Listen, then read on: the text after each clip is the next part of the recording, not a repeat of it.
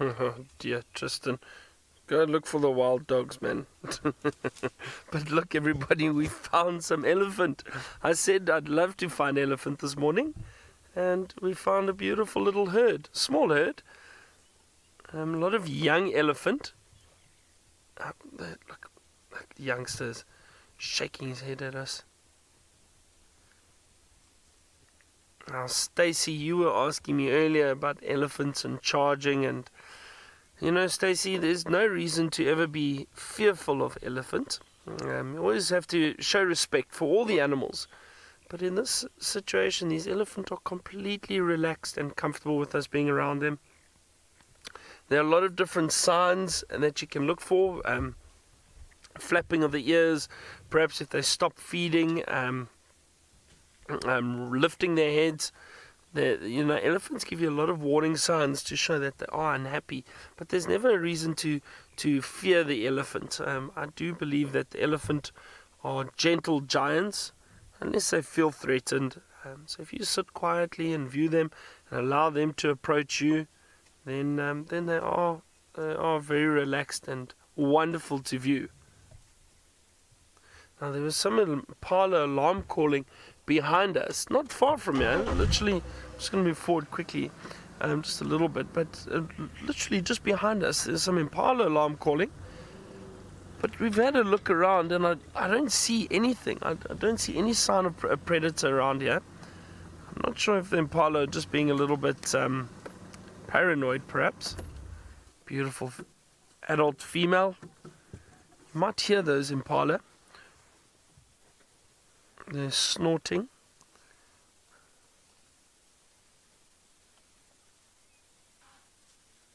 Yeah, do you hear that? You can hear one male impala standing, but there's a, a group of impala around there, and and I do think that if the if those impala were alarm calling at a predator, they all probably would have alarmed. That is that's just one male giving a few snorts.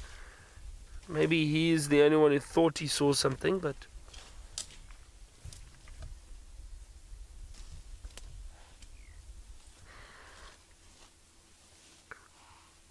I know, yeah, a lot of you are all very excited and happy to see the elephants and have a look at that little one, the youngster. I'm glad. I, you all know how much I love the elephant. Enjoy spending time with them. Even the, there's a snorting impala behind us, but I don't see any sign of a predator around here.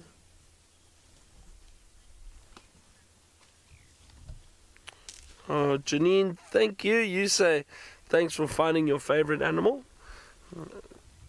Only a pleasure, Janine. We're lucky. Nice, nice to just drive around and uh, and bump into these animals. What a great morning, though. I mean, leopards early on, then Tristan finding the wild dogs, and now some elephant. Fantastic morning. Oh, I'm, I do not want to say it, but the boys' drive seems to be doing pretty well this morning.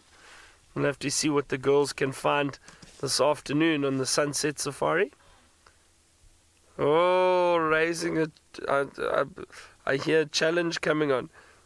Taylor's not shy of a challenge. She always challenges us to various things. We'll just we'll see what she says later, but I'm not going to I'm not going to challenge anyone today. it's Friday.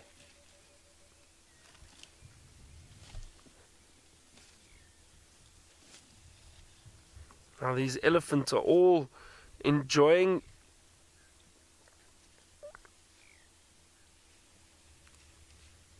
Um, they're all feeding on these bush willows. Now I want to show you. Let me move forward a little bit again.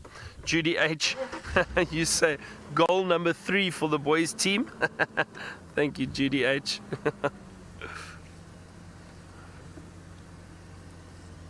and also um, Judy H, thank you very much for the information on the spekboom yesterday that we were talking talking about.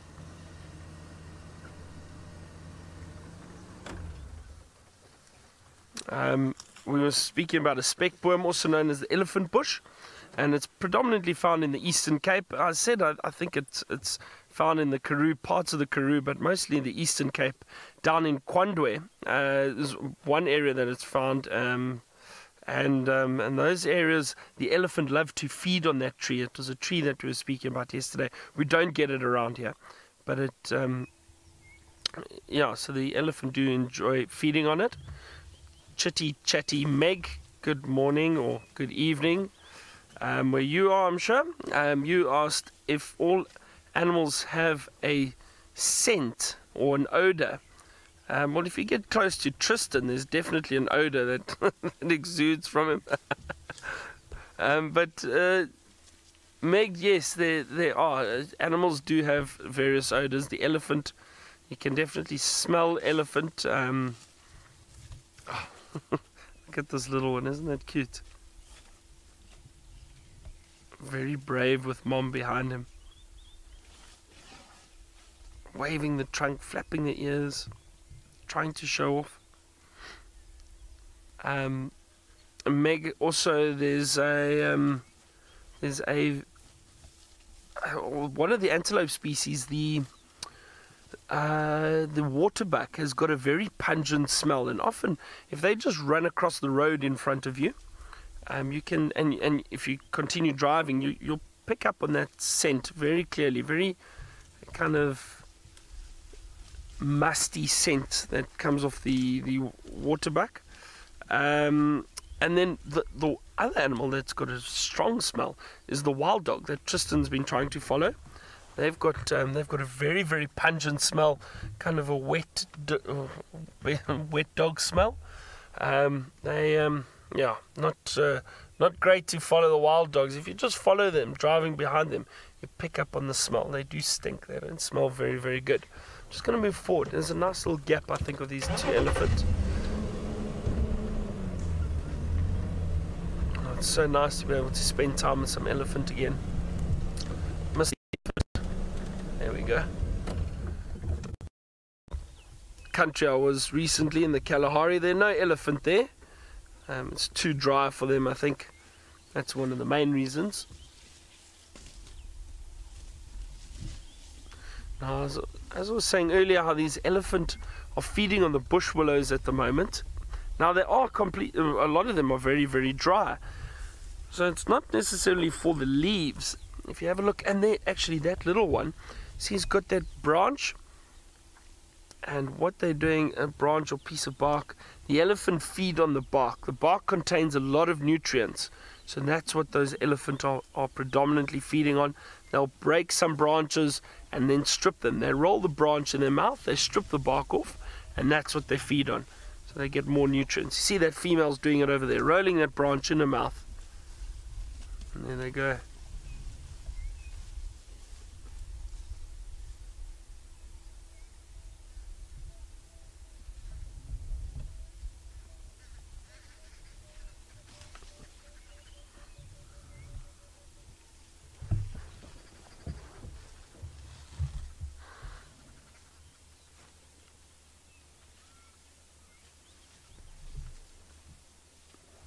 Hear the fish eagle calling in the distance, probably the one at the dam. We are still on Chitwa Chitwa at the moment, not too far from the dam, I suppose.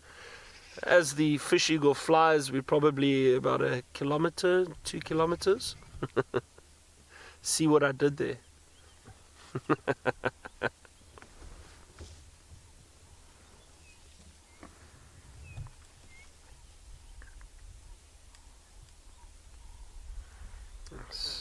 so nice to sit with the elephants for a while and just listen, listening to them breaking the branches. And, you know, they still for these for large animals, they're actually very quiet.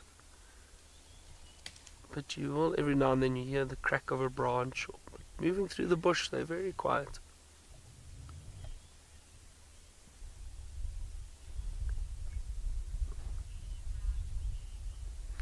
Tira and Jeezy, you asked if elephants scent mark. No, they do not. They don't, not at all.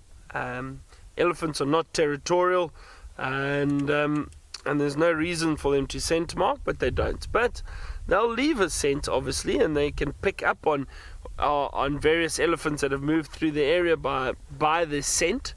and and that's basically the urine or the dung or you know the elephants. Their sense of smell is so incredible that they'd be able to find one another from quite a distance away if they if they were looking for other elephants. Males do it when they're looking for the females. They pick up on the scent of a female and then they um, they will follow a herd of elephant. So they'll definitely pick up on the scent of the of each other, but they don't actively scent mark, not at all.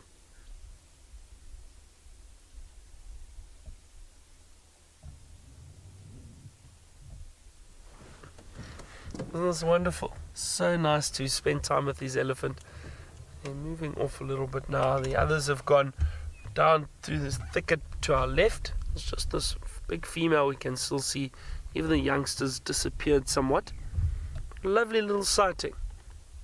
There they go.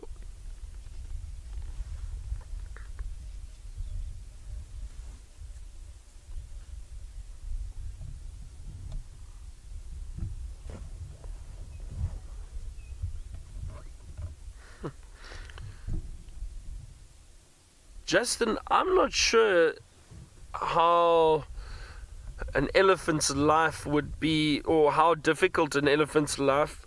Oh, hang on, Tristan's found the dogs. Let's go back to him quickly.